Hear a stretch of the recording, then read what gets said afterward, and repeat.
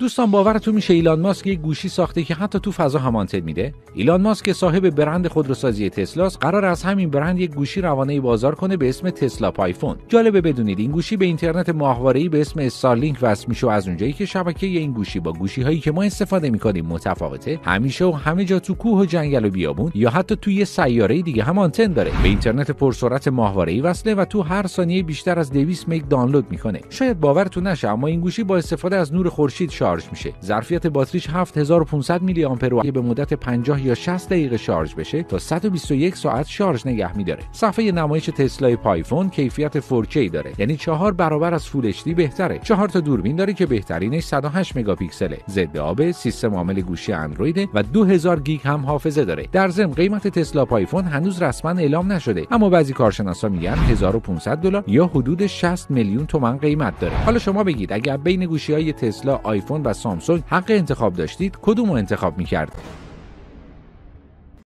باورتون میشه کیس یک کامپیوتر 500 متر جا اشغال کنه؟ این مجموعه که می‌بینید کلش کامپیوتر به اسم Summit یه ابر کامپیوتر و تو ایالت تنسی آمریکا قرار داره. و جالبه که 340 تن وزن ایشون برای ساختن حدود 300 کیلومتر کابل و سیم مصرف شده. این کامپیوتر قولپیکر می‌تونه 250 پتابایت اطلاعات تو خودش جا کنه که معادل حجم 74 سال فیلم HD سامیت تو هر 20 ثانیه 20 کادریلیون محاسبه انجام میده که این رقم یک میلیون برابر سریعتر از لپتاپ های معمولی و در واقع یه انسان به 63 میلیارد سال زمان نیاز داره تا بتونه کاری که سامیت در عرض ایچی ثانیه انجام میده رو انجام برسونه. میزان برق هم که این ابر کامپیوتر برای انجام محاسباتش صرف می‌کنه با میزان برق مصرفی 8000 واحد مسکونی در آمریکا برابری می‌کنه. برای خنک کردن این کامپیوتر باید 4000 تا بشکه آب داخل لوله‌های مخصوص خنکسازی پمپاژ بشه. زمینه فعالیت این کامپیوتر هم کارایی مثل طراحی هواپیما پیدا کردن علت بیماری‌های مثل سرطان روش درمان بیماری و کشف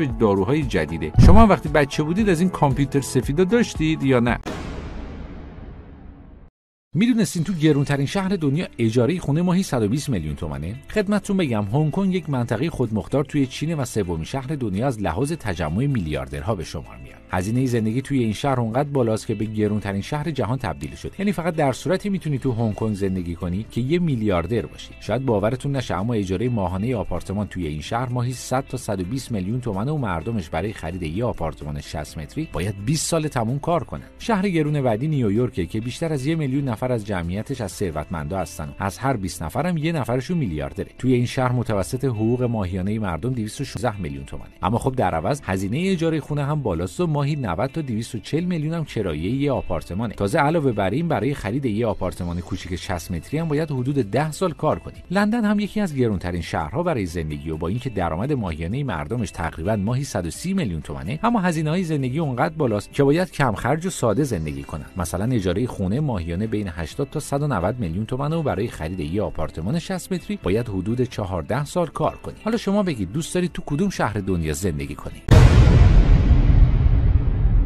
می‌دونستید بزرگترین فروشگاه آنلاین دنیا یعنی آمازون اولش یک کتاب فروشی کوچیک تو گاراژ ماشین بوده. آقای جف بزوس مؤسس آمازون که یه روزی کسب و کار خودش از یک کتاب فروشی آنلاین تو پارکینگ خونش شروع کرده الان سومین فرد ثروتمند دنیاست که دارایی‌هاش 124 میلیارد دلار ارزش داره. ایشون 27 سال پیش با ساختن سایت آمازون کم کم وارد دنیای ثروتمندا شد و الان هم این کمپانی بزرگترین خرده فروشی آنلاین تو جهانه. شاید باورتون نشه اما کمپانی اپل هم که در حال حاضر فقط شعبه اصلیش 70 هزار متر از یک گاراژ کوچیک شروع به کار کرده. جالبه بدونید یه خانواده کشاورز استیو جابز تو نوزادی به فرزند خوندگی قبولی کردن و از اونجایی که وضع مالی خوبی هم نداشتن استیو از نوجوانی همین کار می‌کرده تا اینکه تصمیم می‌گیره کسب و کار خودش رو راه اندازی کنه و اولین کامپیوتر اپل رو هم توی گاراژ خونهشون می‌سازه. کم کم اپل رشد می‌کنه و در حال حاضر یکی از با ارزشترین کمپانی های و 147 هزار تا هم کارمند داره. آقای والتر الیاس یا همون والت دیزنی معروف هم توی خانواده روستایی و کشاورز زندگی می‌کرد و جالبه بدونید خونهشون حتی یه پارکینگ هم نداشته که کاراشو اونجا استارت بزنه. برای همینم اولین بار تو پارکینگ خونه عموش شروع به کار می‌کنه و از همونجا کارتون آلیس در سرزمین عجایب می‌سازه و بعدها بزرگترین شرکت رسانه‌ای تو کل جهان میشه.